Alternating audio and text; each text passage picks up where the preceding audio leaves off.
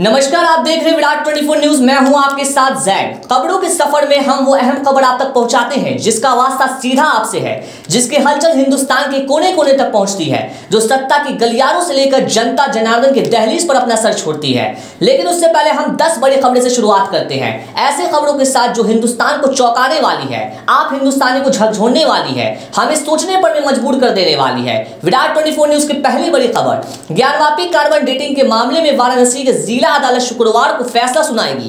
Court ने इससे पहले दोनों पक्षों को सुनने के बाद 11 अक्टूबर को फैसला सुरक्षित रख लिया था। कोर्ट यह तय करेगी कि कार्बन डेटिंग या वैज्ञानिक विधि से ज्ञानवापी परिसर में जाँच करानी है या नहीं?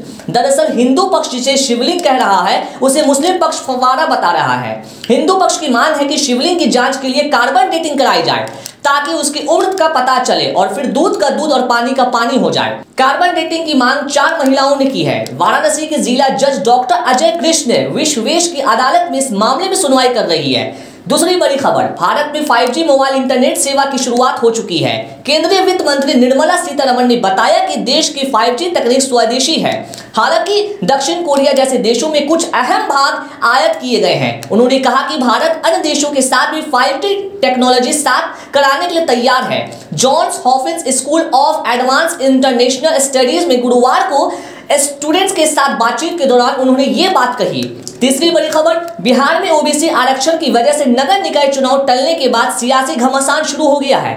नीतीश कुमार की पार्टी जहाँ इसका टिकड़ा बीजेपी पर फोड़ कर धरना दे रही है, वहीं अब बीजेपी ने महागठबंधन सरकार पर अति पिछड़ों के आरक्षण को लेकर साजिश करने का आरोप लगाया है। इसके लिए 17 अक्टूबर को बीजेपी प्रदेश भर में धरना प्रदर्शन करेगी। बीजेपी प्रदेश अध्यक्ष संजय जायसवाल ने गुरुवार को पटना में प्रेस कॉन्फ्रेंस कर नीतीश सरकार पर निशाना साधा। चौथी बड़ी खबर, दिल्ली के लोगों के लिए अब प्रदूषण भरे दिनों की शुरुआत होने जा रही है। अनुमान है कि हवा की दिशा बदलने और रफ्तार कम होने के चलते अगले दो दिनों में दिल्ली का वायु गुणवत्ता खराब श्रेणी में पहुँच सकती है। हालाँकि गुरुवार को दिल्ली की वायु गुणवत्ता मध्यम श्रेणी में रही। मानसून के चलते दिल्ली के लोगों को जुलाई, अगस्त और सितंबर की अपेक्षाकृत साफ़ सुथरी हवा के सांस लेने का मौका मिला। पांचवी बड़ी खबर, हिमाचल प्रदेश के उन्ना के लोगों ने प्रधानमंत्री नरेंद्र मोदी को जोरदार स्वागत किया। पीएम मोदी के स्वागत में जमकर नारे लगाने वालों को एक वीडियो सामने आया है।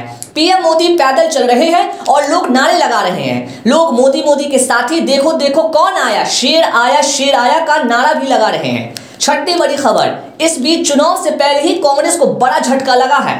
आगामी गुजरात विधानसभा चुनाव के लेकर सभी राजनीतिक दल अपनी अपने बिस्तर बिछाने में लगे हैं। 27 साल बाद से शासन कर रही सत्तारूढ़ भारतीय जनता पार्टी को लेकर आम आदमी पार्टी भी एडी चोटी का ज़ोर लगाने में लग गई है। सातवीं बड़ी खबर, हरियाणा के गुरुग्राम में एक भीड़ ने मस्जिद पर हमला कर नमाज़ अदा करने वाले लोगों को पीटा, जिसके बाद उन्होंने मस्जिद को गेट बंद कर ताला जड़ दिया। भीड़ के एक हिस्से ने मस्जिद के नुकसान पहुँचाया। इस मामले में पुलिस एक दर्जन लोगों पर एफआईआर दर्ज की है। आठवीं बड़ी खबर पश्चिम बंगाल के मोनियमपुर उपद्रव से जुड़े वीडियो सोशल मीडिया पर शेयर और पोस्ट करने के आरोप में पुलिस ने सोशल मीडिया पत्रकार को मनब गुहा को गिरफ़्तार किया है। पुलिस का कहना है कि ऐसे वीडियो में समाज में तनाव और फैला सकता है।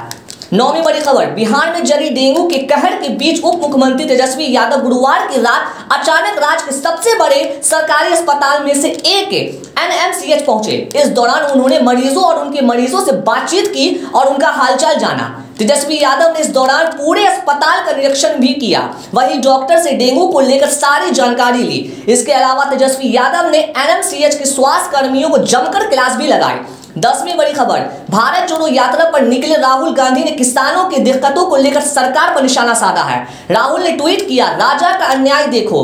खाद पर पाँच प्रतिशत जीएसटी ट्रैक्टर पर बारह और कटीनाशक पर अठारह प्रतिशत है। जहाँ देश के पेट भरने वाले अन्नदाताओं से भाजपा वसूली कर रही है, वहीं भारत जोड़ो यात्रा किसानों की आवाज़ बुलंद कर रही है। हम किसानों के साथ हैं और रहेंगे। तमाम बड़ी खबर देखने के लिए देखते रहे विराट ट्वेंटी न्यूज़।